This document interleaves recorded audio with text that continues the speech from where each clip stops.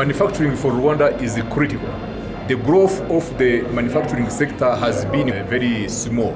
We need really to bring the manufacturing sector at the, the higher the higher level of operations uh, compared with what has been happening in the past.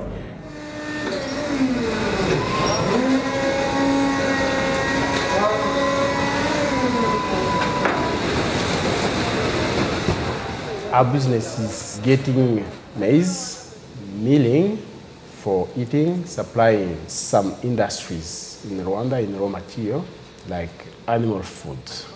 Manufacturing is very, very important. Rwanda has always been with 90% of his population in agriculture, but land is becoming rare and rare. We will need absolutely to change the structure of our economy.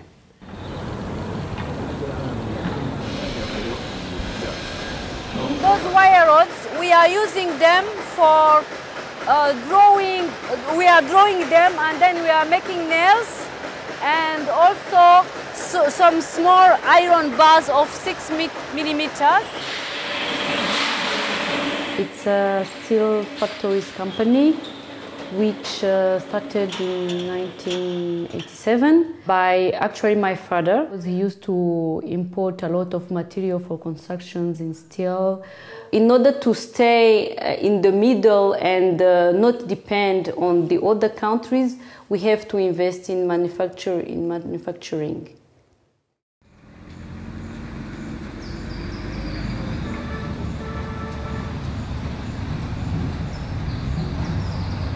After 1994, uh, to rebuild it was not easy.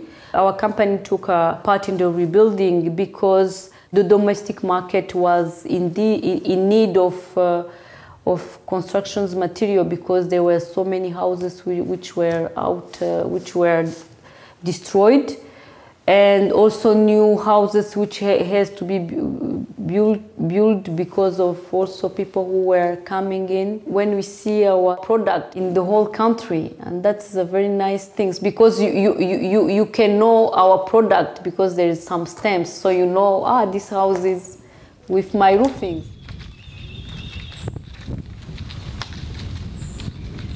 Because when we came when I survived because I was here and I survived. And after the war, the country was really down, down. And at this time, I was afraid. I couldn't imagine that we will um, come up from the level we were. And now I can say that I am really pleased to see that we have not only be able come up from the deep, but we have been able to, to, to, to develop much quickly than people could imagine. When I'm seeing even pictures uh, of the of five years back and now, there is a very big change. There is those good roads. Now we have good roads. Rwanda has been uh, uh, taking off for many years, but what is really now is to accelerate our speed to be able to achieve our uh, target of being a middle income status country by the year 2020 from where we are now.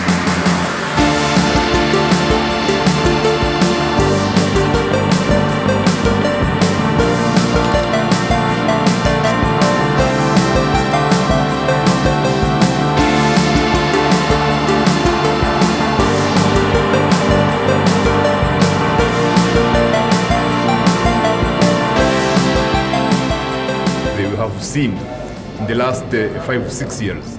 New big industrial group coming in to take advantage of uh, the, the, the, the Rwandan opportunity to produce here and uh, export goods and services in neighboring countries.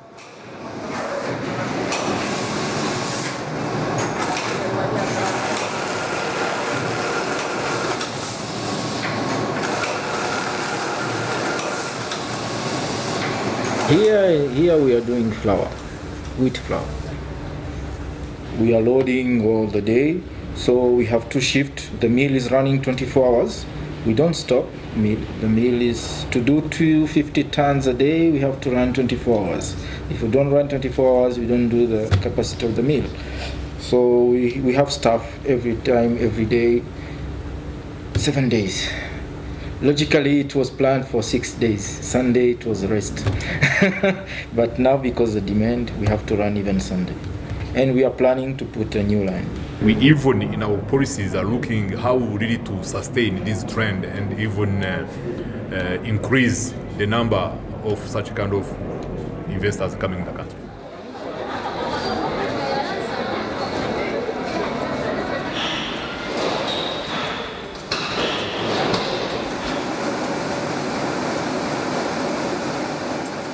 Of course, it's challenging because you know the, for example, the supply chain is not yet really there.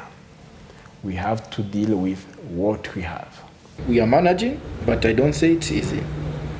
I'm managing every day. Every day, I have to adapt my business. Will come. There are some work to be done, but yes, I believe it. I believe it. Even us, when we are leaving the country for two, three weeks, after when we come, there is a change. So in 2020, you will see these new plots uh, with machines. So our future, we think, is okay.